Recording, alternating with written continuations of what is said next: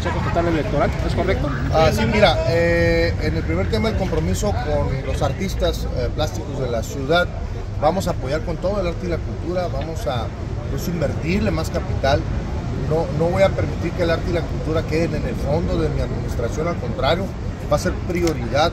y, y por dos vertientes, ¿no? Una, el tema de reconocerles esa gran labor que han hecho durante muchos años y que su trabajo, su capacidad, su habilidad, pues sea vista por todos los tijuanenses, reconocer ese arte, esos artistas locales con base al arte que han llevado a cabo durante mucho tiempo.